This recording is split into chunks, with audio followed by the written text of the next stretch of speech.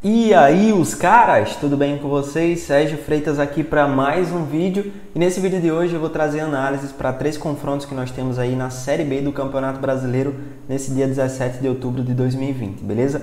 E antes de eu passar as análises para vocês, quero pedir que vocês deixem o like, se inscreve no canal e ative as notificações, porque sempre que eu postar vídeo aqui, você vai estar recebendo e não vai perder nenhuma dica de aposta. Beleza, galera? Vamos lá para os três jogos, né? Nós temos o primeiro, a primeira partida que vai acontecer hoje é a Chapecoense que vai enfrentar o Vitória. Nesse confronto aí, nós temos um time da Chape que está jogando muita bola, né? É, dentro de casa, principalmente, ainda não perdeu. É, tá lá na parte de cima da tabela, enquanto que o time do Vitória, se a gente olha aqui, ó, jogos contra, como visitante, o Vitória não venceu nenhum mas em compensação empatou vários, né? São cinco empates e duas derrotas. Então, um cenário que a gente olha assim, né? cara, vou apostar no, na Chape. Só que eu também vejo a Chape como favorita, tem um leve favoritismo para esse jogo, não é tanto assim. Eu acho que o mercado exagerou no favoritismo da Chape e disponibilizou aqui a linha no menos 0,5. Eu acho que a linha era para estar no menos 0,25 e eu vejo valor nessa dupla chance do Vitória.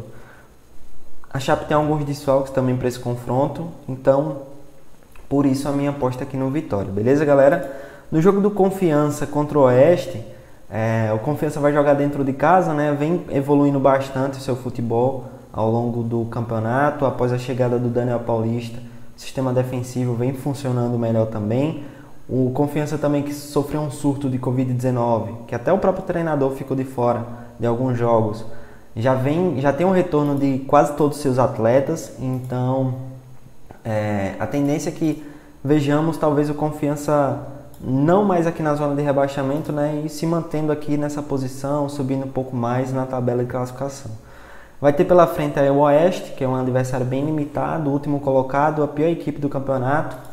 Então acredito que o Confiança possa vencer essa partida. Nós temos o menos 0,5, eu acho que é justo para esse confronto. Eu, o que eu pegaria era o menos 0,25, mas por enquanto, como a linha está justa, eu não vou fazer nada, beleza? Mas a tendência é que o Confiança vença, só não vi valor nessa ordem. E por último, o jogo do Brasil de Pelotas contra o Figueirense. Na verdade, esse confronto aí, é, ele provavelmente vai ser adiado, né? Provavelmente vai ser adiado porque o Figueirense, cara, tá com muito desfalque de Covid-19 e o time está tentando ver na justiça se cancela, se adia essa partida. Então nós temos um outro confronto que não vai aparecer na tela para vocês, porque eu esqueci de marcar, que é o jogo do CRB contra o Operário. Vou fazer um comentário rápido aqui sobre esse confronto. Né? É, o CRB vai jogar dentro de casa, tem retorno de dois jogadores importantes, o time do Marcelo Cabo. O Operário tem algumas mudanças ali, né? Alguns jogadores que foram contratados, que estão voltando de lesão. Então o, o técnico Gerson Guzmão tem algumas dúvidas para essa partida.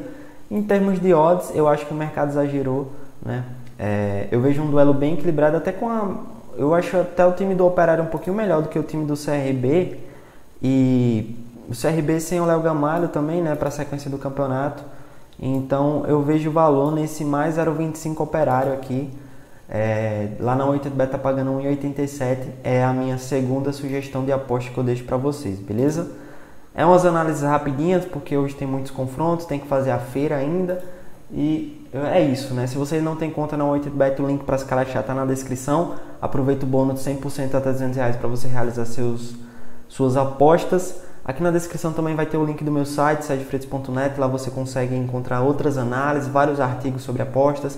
Também um curso gratuito disponibilizado para vocês. E outra coisa é o meu canal no Telegram, que está aí o link na descrição. Acessa, entra lá para que você possa receber informações sobre apostas, beleza? Tá rolando um bolão no Twitter valendo 50 reais, três free bets de 50 reais no jogo do Corinthians Flamengo. Vou deixar o link aqui para que você possa participar, beleza? Tamo junto e até o próximo vídeo.